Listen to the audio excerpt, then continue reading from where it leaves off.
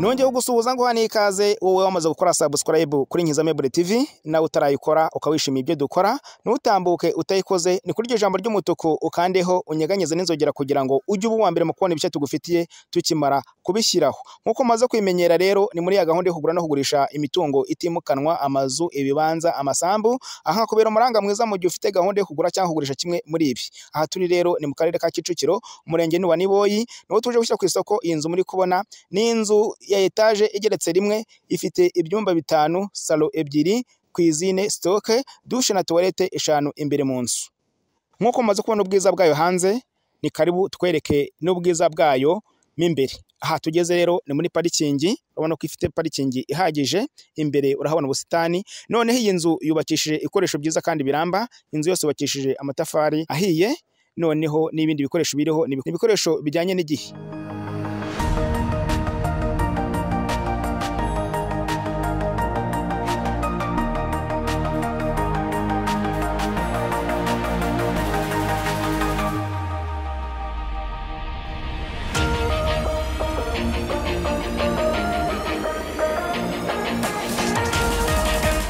Tugeze rero ni kuri bariko yo kuri salo urabona ko ari inzu iteguye neza nk'uko nawe wakomeje kugenda ubikurikirana.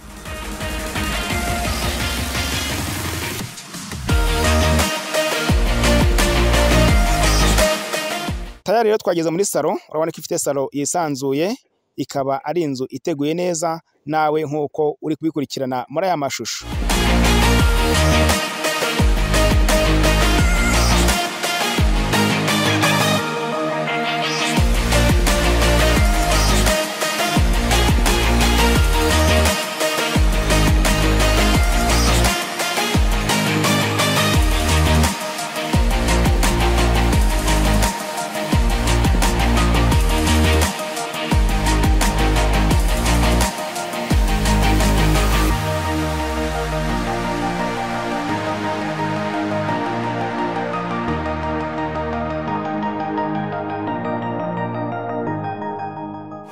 Dukomeje imbere rero turasanga ahagenewe gufatirwa amafunguro muri saramanje si byinshi navuga nawe ubwiza bwayo uri kugenda ubwibonera.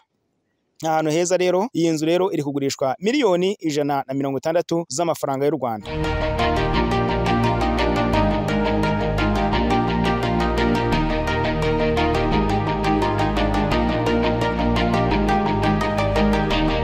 Dukomeje imbere rero turahasanga ahagenewe gutegurirwa amafunguro icyo ni igikoni cyo mu nzu. Nk'uko nawe uri kubibona ni igikoni cyiza cyubatse neza n'ibikoresho byiza bijyanye n'igihe kuri wowe rero uje kuri Nkiza Mebure TV ari ubwa mbere ukaba wishimiye ibyo dukora ntutambuke udakoze subscribe. Ni kuri iryo jambo ry'umutuku riri munsi y'ivideo ukandeho unyeganyeze n'inzogera kugira ngo ujye uba uwa mbere mu kubona ibice tugufitiye tukimara kubishyiraho.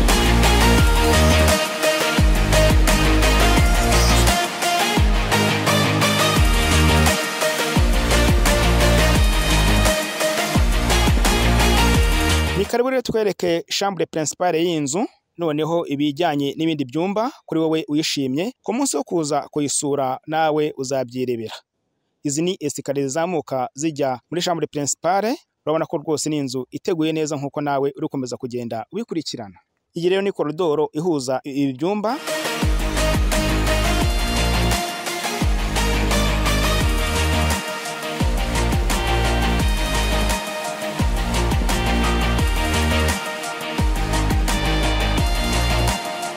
Noneho shambure principale ni iyi ngiyi nk'uko uri kubikurikirana. Ni shambure nini yisanzuye noneho ukaba wayiteramo igitanda gifite metero ebyiri kuri ebyiri kikajyamo neza kandi ugasagura n'umwanya.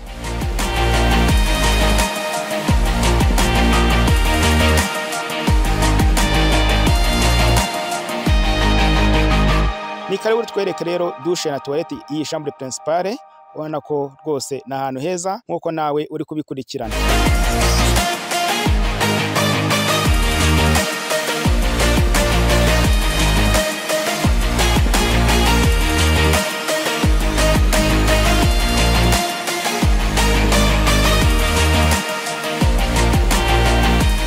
Tugarutse rero urabona ko iyi shambure principale ifite na bariko ni hahandi n'ubundi ushobora gutera intebe zahagenewe mu gihe utararyama cyangwa se unabyutse wibutse ko iyi nzu ifite ibyumba bitanu salo ebyiri kwizine n'ahagenewe gufatirwa amafunguro muri saramanje ni inzu nziza rero nk'uko nawe ukomeje kugenda ubikurikirana.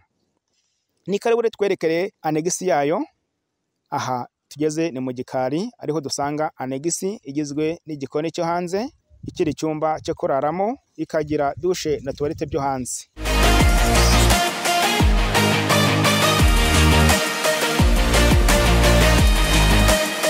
Hejuru turahasanga tanka yo gufata amazi urabona ko ifite tanka nini ihagije. Kuri wowe ushimye inzu ukaba ugiye kuyigura urabona ko nta kibazo cy'amazi uzagira kuko byose byarateguwe. Duhamagare kuri zeru karindwi umunani umunani mirongo itanu mirongo inani na kane cumi na gatanu. Ubundi gahunda yawe yose igende neza. Murakoze mukomeze kugira ibihe byiza.